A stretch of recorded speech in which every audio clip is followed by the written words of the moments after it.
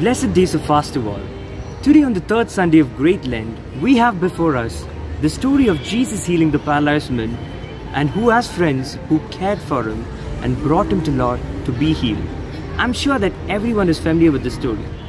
The Gospel demonstrates that faith is not something to be talked about but must be demonstrated in the way we live. In verse 5 of the Gospel, we read that Jesus saw their faith. Most people would say that we cannot see faith because it isn't available in the physical or visible form. But Jesus saw the faith of these four men. Even the crowd that surrounded Jesus in this room were neutralized by the same curiousness of approaching Jesus. As Jesus entered the town of Capernaum, his followers, on knowing his arrival, immediately gathered together so that there was no longer space in the room to occupy, nor even near the door. And as Jesus preached the word to them, men appeared and brought a paralyzed man along with them.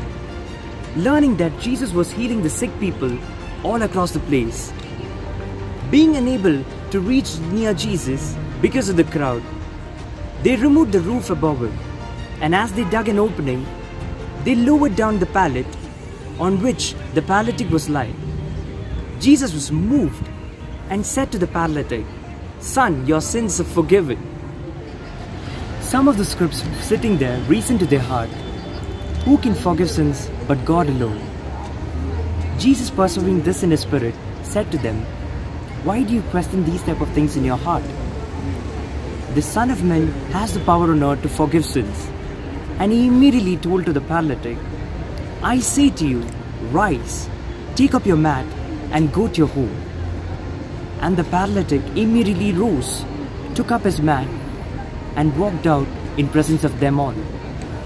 All were amazed and glorified God and said that we have never seen anything like this. Now, what Jesus meant is to say that the paralytic person need not longer carry the humiliation or guilt that he had been carrying hereafter.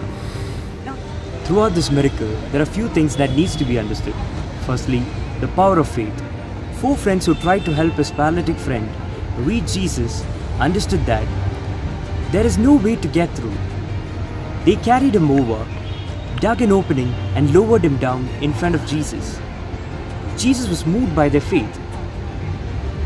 They were impressed by the teachings of Jesus, and surely because of that, they were persistent enough to carry him over, dug an opening, and lowered him down.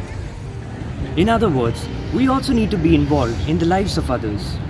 It's so easy to sit back, wrapped up in our own lives and problems, so that we don't have time to care about anyone else. Secondly, the healing in this miracle reminds us that church is a spiritual hospital for sinners.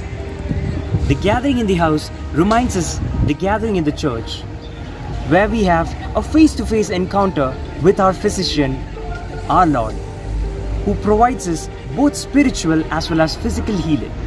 Lastly, Lord saw four people who wouldn't give up.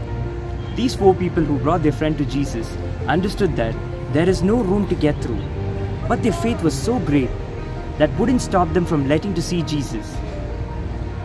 Like these four men, we also need to be so persistent in our life so that we can accomplish those things that we tend to procrastinate in our life by realizing the power of God who strengthens us. Wishing everyone a blessed Lenten season. Thank you.